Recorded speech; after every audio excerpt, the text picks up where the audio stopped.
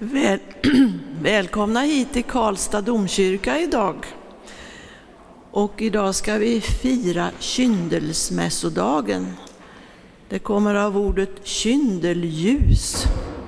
Det var en gammal tradition att man idag välsignade de ljus som skulle användas i hemmen och i kyrkan året som kommer. Så temat idag är uppenbarelsens ljus. Vi säger välkommen till er som är här och till ni som sitter hemma vid datorer och tv-apparater. Vi följer tredje årgångens textläsningar, på alltså kyndelsmässodagen, som är på sidorna i psalmboken 1576 till 1577. Kollekten idag det är en stiftskollekt och den går till Svenska kyrkans unga i Karlstad stift. Vi tror att människor tar med sig något gott från Svenska kyrkans unga ut i det fortsatta livet. Ofta är Svenska kyrkans unga den första kontakten många får med Svenska kyrkan. Flera som idag arbetar i Svenska kyrkan har en gång i tiden själva varit engagerade i vår organisation. Vi ser oss som en av de största rekryterande miljöerna inom Svenska kyrkan. Oavsett oavsett om det är blivande präster, kyrkvärdar eller ordförande i kyrkoråd. Så man ber därför om en riklig kollekt den här februarisöndagen. Att vi firar mässa innebär att det också är nattvard. Vi tillämpar intinktion, vilket betyder att du får ta emot brödet i din hand och sen själv doppa det i vinet. Våra oblater är glutenfria och vinet är alkoholfritt. Den som istället vill ha en välsignelse kan lägga höger hand mot vänster axel som ett tecken till prästen. Efter gudstjänsten har vi också ett enkelt kyrkkaffe vid utgången som ni gärna får stanna vid så får vi samspråka lite. Så ber vi. Gud, vi samlas i ditt namn och ber om ditt stöd. Visa oss vägar som leder till liv. I Jesu namn. Amen. Så får vi lyssna till klockringningen.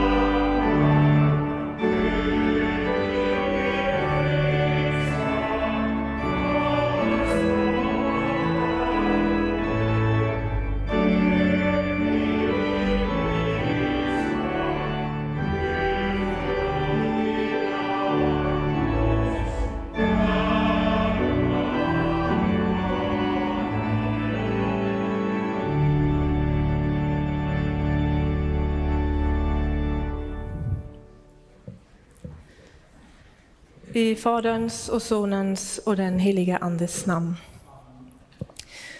Uppenbarelsens ljus, det är dagens tema. Vi längtar väldigt mycket efter ljus i dessa dagar. Vi gör det på grund av årstiden vi befinner oss i, men också av allt annat mörker som finns runt omkring oss. Söndagen kallas också för skyndelsemässodagen eller Jungfru Marie kyrkogångsdag. Skyndelsemässodagen det var i torsdags och det är ju 40 dagar efter jul. Då påminner vi oss om att Maria fick gå tillbaka till templet efter förlossningen. Och det var då första gången hon bar fram Jesusbarnet till templet. Vi får höra om Simeon och Hanna också idag. Vi får höra om deras längtan efter ljus och vi får höra om deras uthållighet. De gav nämligen inte upp hoppet om att Gud skulle uppfylla sina löften. Gud lovade att de en dag skulle de få se Guds uppenbarelse på jorden. Simeon och Hanna de var ju inte med i stallet när Jesus föddes i Betlehem. De har ju inte hört änglarna sjunga om att Gud har kommit ner till oss människor och fötts som ett barn i en krubba. De har precis som vi inte varit med då.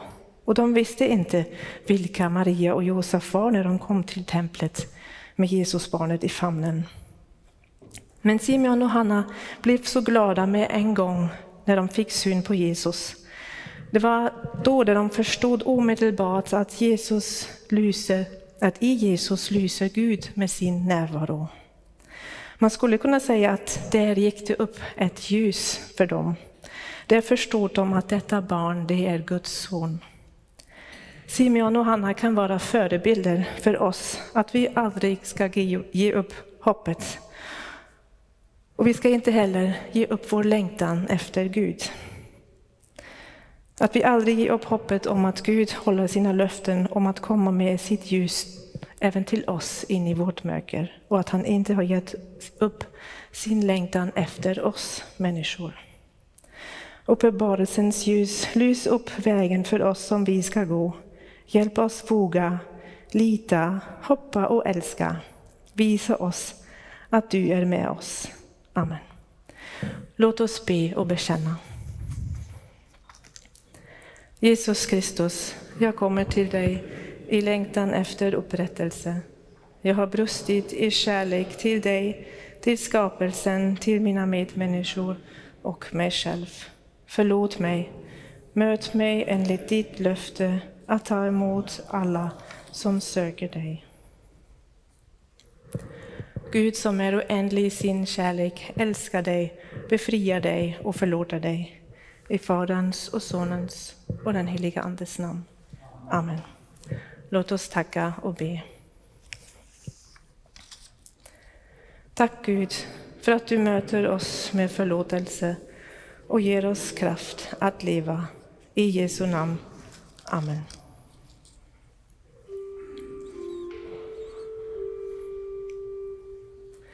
Heliga Herre Gud, helige starke Gud, helige barmhärtige frälsare,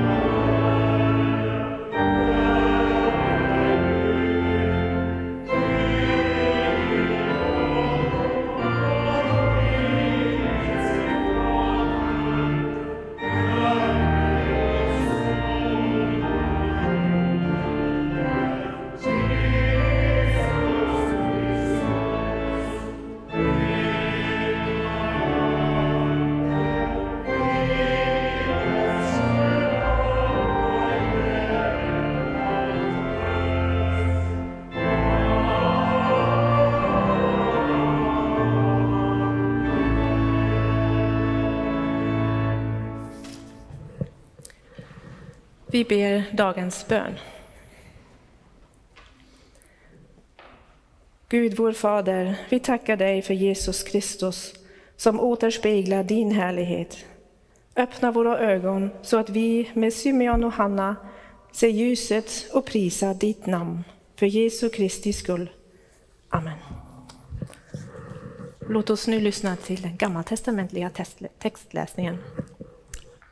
Mika verkade som profet i Israel under 700-talet före Kristus. Idag läser vi från Mika 7, verserna 7 till 8.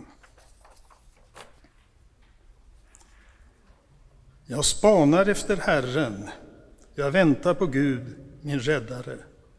Min Gud skall höra mig. Triumfera inte, du min fiende. Jag har fallit, men reser mig igen. Jag sitter i mörker, men Herren är mitt ljus. På pingstdagen fick lärjungarna del av den heliga Anden.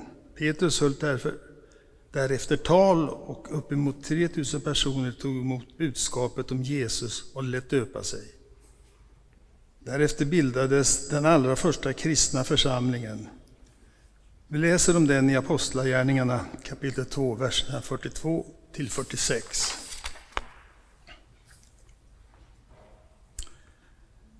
De döpta deltog troget i apostlarnas undervisning och den inbördes hjälpen i brödbrytandet och bönerna. Alla människor bävade. Många under och tecken gjordes genom apostlarna. De troende fortsatte att samlas och hade allting gemensamt. De sålde allt vad de ägde och hade och, hade och delade ut åt alla efter vars och ens behov. De höll samman och möttes varje dag troget i templet och i hemmen bröt de brödet och höll måltid med varandra i jublande, uppriktig glädje. Så lyder Herrens ord. Gud, vi tackar dig.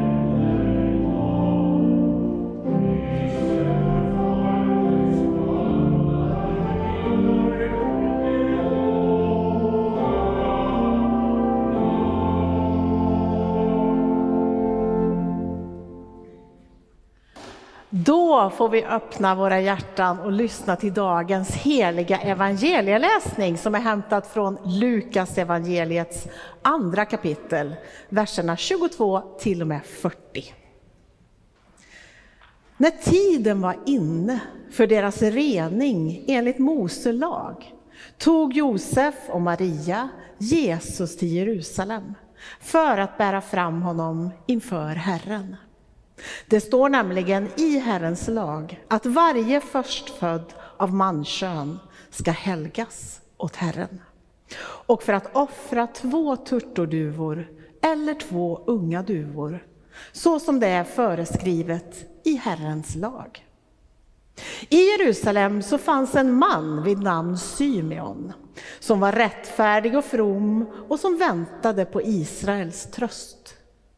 Helig ande var över honom och den heliga anden hade uppenbarat för honom att han inte skulle se döden förrän han hade sett Herrens Messias. Ledd av anden gick han till templet och när föräldrarna kom in med barnet Jesus för att göra med honom som det är sed enligt lagen, så tog han honom i famnen och prisade Gud och sa Herre, nu låter du din tjänare gå hem i frid som du har lovat. Ty mina ögon har skådat frälsningen så, som du har berättat åt alla folk. Ett ljus med uppenbarelse åt hedningarna och härlighet åt ditt folk Israel. Hans far och mor förundrade sig över vad som sades om honom och Symeon välsignade dem och sa till hans mor Maria Detta barn ska bli till fall eller upprättelse för många i Israel och till ett tecken som väcker strid. Ja, också genom din egen själ ska det gå ett svärd för att mångas innersta tankar ska komma i dagen.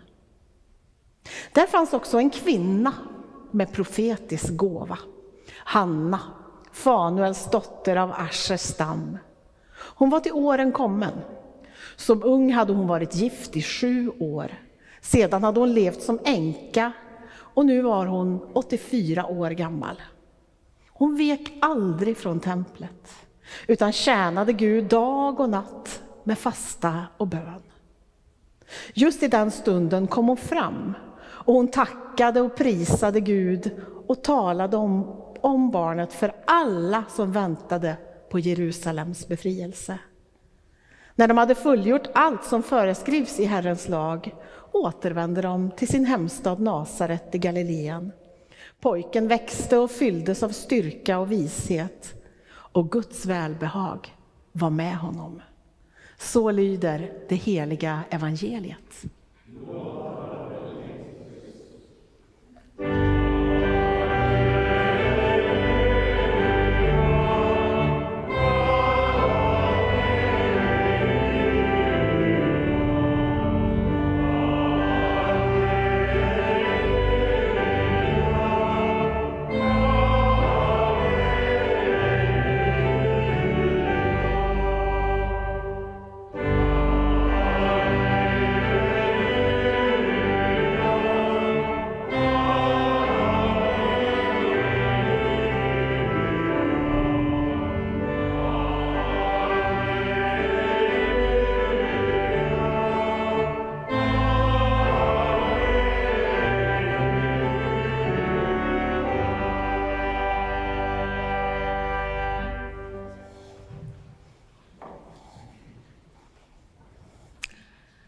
Jag är en stolt tant. Ja, du hörde rätt. Jag är en stolt tant. Ordet tant har ingenting med ålder att göra, utan symboliserar en fas i livet där man efter år av reflektion och eftertanke har nått till en punkt där fokuset i livet handlar om att prioritera det som är rätt och det som är gott. Om att någon slags befriande bekymmerslöshet infaller vad det gäller till exempel trender eller mode eller yta. Och det är så skönt. Plötsligt är det okej okay att få säga vad man tycker, till och med kritisera ibland utan ångest för vad andra eventuellt har för åsikt kring samma sak. Tänk på alla kyrktanter genom åren alla de här kyrktanterna som jag har sett upp till. Alla de som genom kakor och basarer och stickade vantar och raggsockar har burit församlingarna i bön och omsorg. De är mina idoler. Jag besökte faktiskt min barndoms församling i Östervallskog förra helgen och insåg att flera av kyrktanterna faktiskt är kvar. Jag är ju ändå 55, men det fanns flera av dem som var kvar. Samma goa tanter som lärde mig att stöpa ljus och hur mycket pengar jag skulle ge i växel när jag sålde åror. Vad hade våra församlingar varit utan dessa tanter? Jag tänker att Hanna i templet också var en stolt tant. Hanna som gifte sig ung men blev efter sju år änka. Efter det så beslutar hon sig för att ägna sina resterande dagar åt fasta och bön. Bön till Gud dag och natt. Hon kom att stå Gud väldigt nära. Hon blev en kvinnlig profet. Man skulle kanske också kunna kalla henne för en av de första kända missionärerna, även om hon tillbringade sin tid i templet snarare än att resa världen runt. När man talar om profeter så är det viktigt att förstå att en profet i biblisk mening inte nödvändigtvis är någon som förutsäger framtiden. En profet är en förkunnare. Någon som talar Guds ord till folket på Guds uppdrag. Gud använder sig många gånger av profeter för att varna Israels folk när de avfaller från Gud eller går sina egna vägar. Hanna var alltså en sådan profet. En kvinna som Gud använde som sitt språkrör. I detta gudomliga uppdrag gjorde att hon brukade vistas i templet och när hon nu var 84 år så fick hon tillsammans med den gamle Simeon se den länge efterlängtade Jesus. Gud i mänsklig form. Hon fick se honom bäras fram av sin mor Maria. Och när hon får se Jesusbarnet så tackar hon Gud för att han har uppfyllt sitt löfte om frälsning.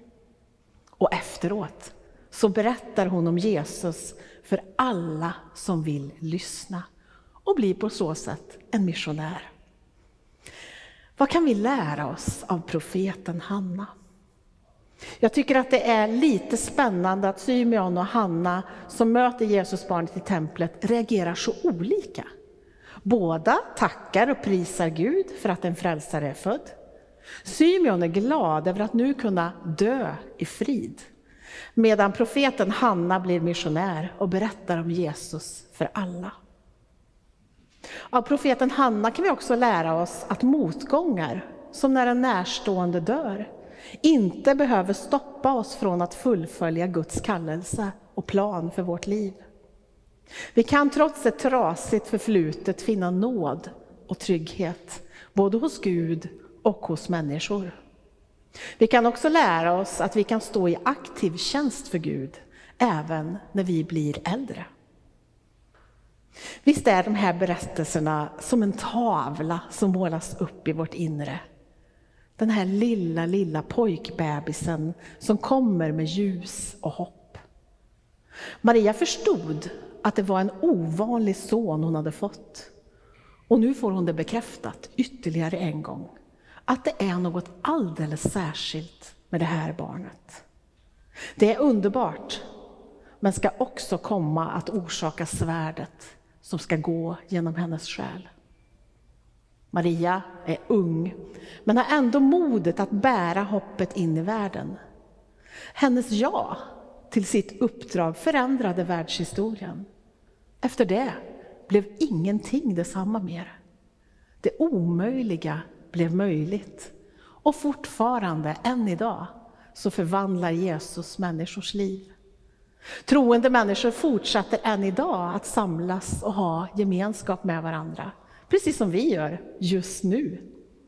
Vi kanske inte riktigt gör som de första kristna i episteltexten som sålde allt de ägde och hade och delade ut åt alla efter vars och ens behov.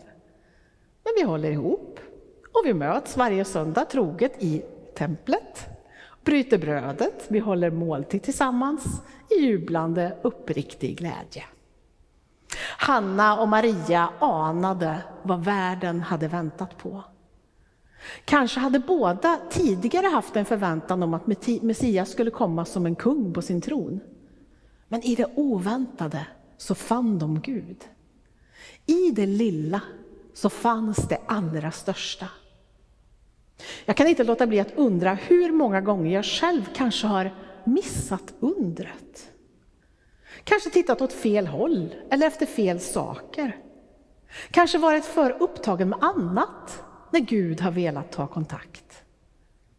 Kanske har Gud många gånger velat berätta något viktigt när jag har haft fullt upp med något totalt oviktigt. Kanske har jag varken sett, hört eller förstått någonting.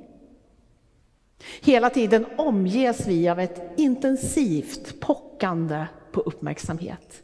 Yttre krav, inre krav, förväntningar från andra. Då kan det vara lätt att missa det lilla och lågmälda. Om vi då har svårt att lyssna utåt, hur ska vi då kunna lyssna inåt? Vad vill jag? Vad längtar jag efter? Vad vill du Gud med mig och mitt liv? Att söka Gud, att ana Gud, det är en stor uppgift för en människa. När vi börjar ana Gud i vårt inre, då har vi nog också börjat ana vad det är att vara människa. Det sätter oss i sammanhang med skaparen och med skapelsen själv. Då blir trender, mode, yta och förväntningar ganska ointressanta. Bibelns berättelser är ju i mångt och mycket männens värld. Men lika många kvinnor har ju funnits hela tiden. De har ju funnits vid varandras sida, alltid. Från tidernas begynnelse har människor oavsett könstillhörighet skapat sin tids kontext tillsammans. Män och kvinnor, sida vid sida, har ju alltid funnits och därför alltid samspelat. Därför blir dessa förhållandevis få kvinnoporträtt i Bibeln så viktiga. Profeten Hanna, en stolt tant, som väljer det goda och rättvisa, som bär bud till andra om att Jesus finns för just dig. Jesus kan komma med ljus och förlåtelse och upprättelse och frid för alla som behöver det. Och Maria med sitt mod. Hon som vågar säga ja till att allt detta blir möjligt. I vår sargade värld behöver vi höra det mer än någonsin. Så stå upp för din inre tant. Var rädd om henne. Hon är din superkraft. Oavsett ålder, oavsett könstillhörighet så kan vi, liksom Hanna och Maria, få komma med ljus och hopp till andra. Det ljus vi själva har fått ta emot kan vi bära vidare. Det är vårt uppdrag som Kristi tjänare, att med stolthet och en rejäl dos råg i ryggen marinera det vi gör och det vi säger i Jesu kärleksbudskap. Amen. Så låt oss nu stämma in i kyrkans bekännelse. Vi tror på Gud Fader allsmäktig, himmelens och jordens skapare.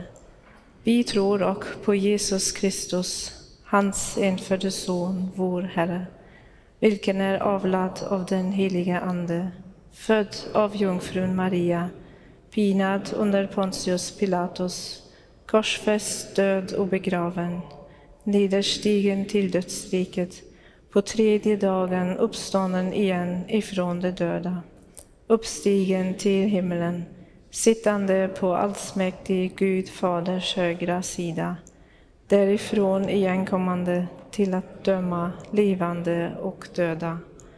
Vi tror och på den heliga Ande, en helig allmännelig kyrka, det heliga samfund, syndernas förlåtelse, de dödas uppståndelse och ett evigt liv.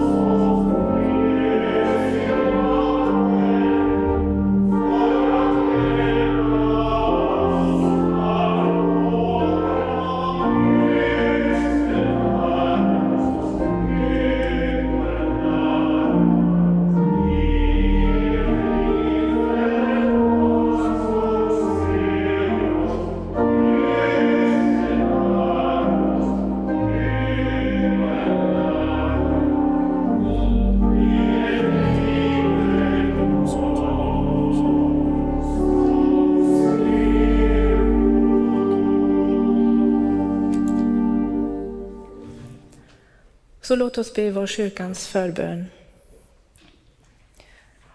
Gud, du som är som en far och en mor, du har låtit livets ljus komma in i världen och vill låta det lysa också i våra liv. Tack för att du hör vår bön och möter oss med kärlek. Gud, när ditt ljus lyser in i världen så visar du oss sanningen. Öppna oss för sanningen om dig och sanningen om oss själva. Visa oss vad du vill med allt det vi har att leva med. Hjälp världen att leva i din sanningsljus. Tack för att du hör vår bön Och möter oss med kärlek. Hjälp din kyrka att bära ljuset vidare i världen. Du är världens ljus, låt oss, låt oss vara spegelbilder av dig. Sänd oss i världens mörker med det som du vill ge och låt människor uppleva din kärlek och omtanke. Hjälp kyrkan att leva i ljuset av dig. Tack för att du hör vår bön. Och möter oss med kärlek. Kom med ditt ljus i våra hjärtan och hjälp oss att se vad vi bär på. Ge oss kraft och mod att utvecklas så att vi växer och mognar som människor. Gud, lys upp vårt inre så att vi ser hur mycket gott du skapat i oss, hur mycket gott vi har att ge. Tack för att du hör vår bön. Och möter oss med kärlek.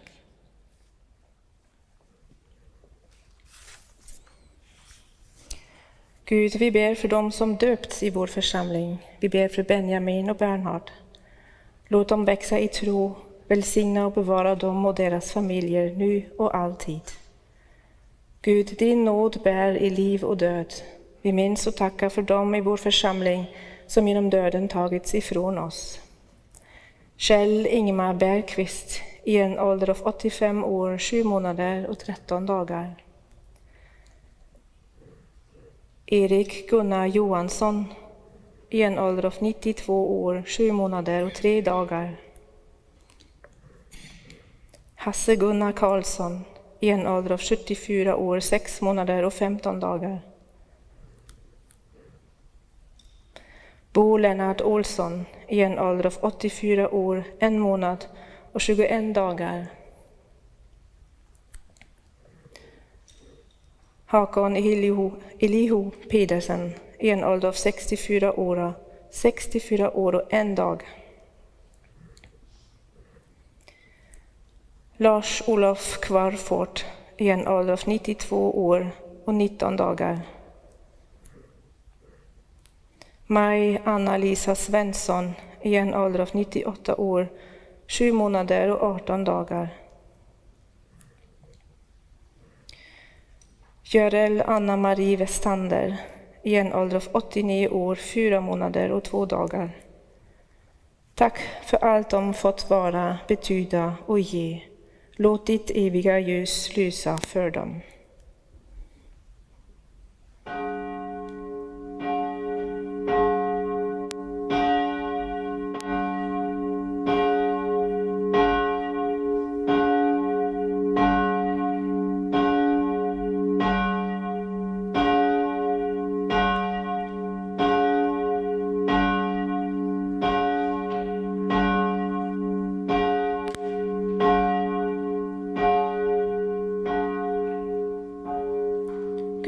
Vi ber för alla som sörjer. Omslut dem med din tröst. Låt evighetens ljus lysa för levande och döda. Tack för att du hör vår bön och möter oss med kärlek. Vi ber för vårt stift, för alla som lever, bor och verkar här. Vi ber för vår biskop och de som fattar beslut. Om din Andes vägledning, om öppenhet för att gå dina vägar. Vi ber också för den världsvida kyrkan, med de kyrkor, församlingar och medkristna som vi har gemenskap med genom Borgo-gemenskapen. Idag ber vi särskilt för kyrkan i England, Worcester stift, biskop John Inch och biskop Martin Gorek. Och för kyrkan i Norge, för vårt vänstift Hammar stift och den nyvigda biskopen Ole Christian Bonden. Tack för att du hör vår bön. Lovat vare du som låtit livets ljus komma in i världen och visat dig själv i din son Jesus. Genom samma din son Jesus Kristus, vår Herre. Amen.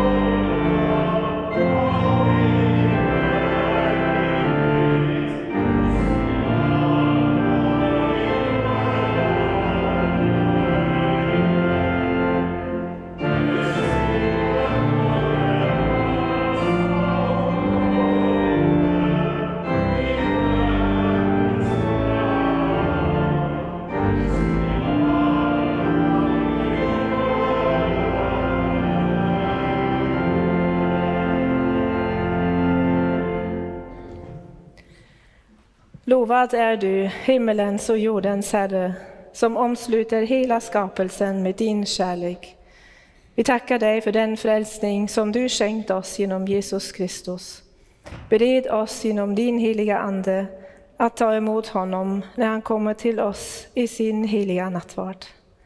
Den natt då han blev förrådd tog han ett bröd, tackade, bröt det och gav åt lärjungarna och sa, tag och ät. Detta är min kropp som blir utgiven för er. Gör detta till min åminnelse. Likaså tog han bägaren, tackade och gav åt lejonen och sa, drick av den alla. Denna bägare är det nya förbundet genom mitt blod som blir utgjutet för många till syndernas förlåtelse. Så ofta ni dricker av den, gör det till min åminnelse. Din död förkunnar vi, Herre, din uppståndelse bekänner vi till dess du kommer åter i härlighet. Himmelske Fader, skänk oss i denna måltid de välsignade frukterna av din Sons lidande och död, uppståndelse och himmelsfärd. Ge oss liv av hans liv, så att han förblir i oss och vi i honom. I väntan på Jesu Kristi återkomst i härlighet ber vi den bön som han har lärt oss. Vår Fader, du som är i himlen. Låt ditt namn bli helgat. Låt ditt rike komma.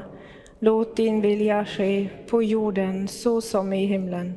Ge oss idag det bröd vi behöver och förlåt oss våra skulder, liksom vi har förlåtit dem som står i skuld till oss. Och utsätt oss inte för prövning, utan rädda oss från det onda. Ditt är riket, din är makten och äran i evighet. Amen. Brödet som vi bryter ger oss gemenskap med Kristi kropp. Så är vi, fastän många, en enda kropp, ty alla får vi del av ett och samma bröd.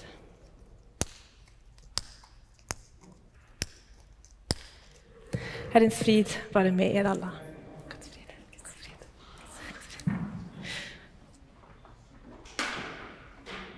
Música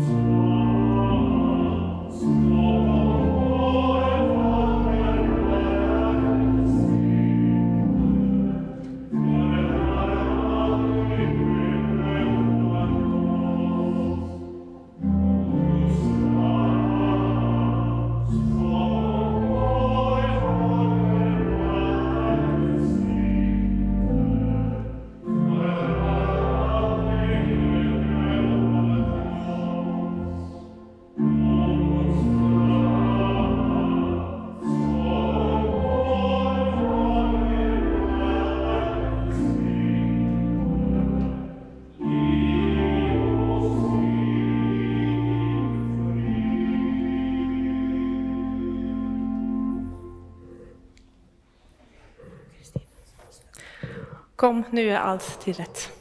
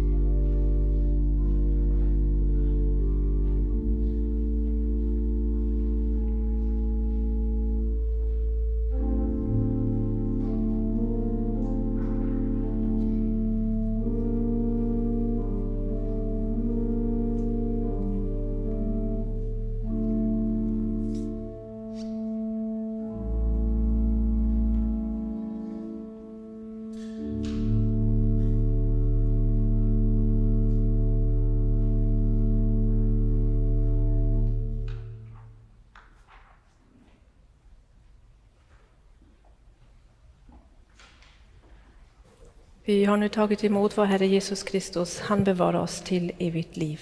Låt oss tacka och be. Herre vår Gud, vi lovsjunger och ärar dig för att din son föddes i världen och blev människa som vi. Vi tackar dig för mötet med honom i nattvarden och för hans närvaro i våra liv. Hjälp oss att återspegla hans kärlek i världen. Amen.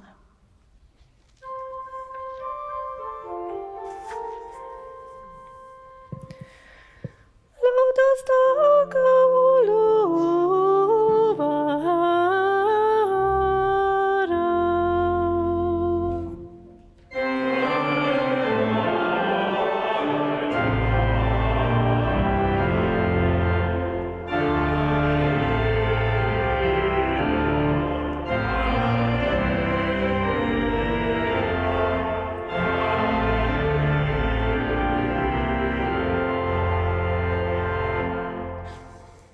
Ta emot Herrens välsignelse. Herren välsigne er och bevara er. Herren låter sitt ansikte lysa över er och vara er nådig. Herren vänder sitt ansikte till er och giver er frid. I Faderns och Sonens och den heliga Andes namn.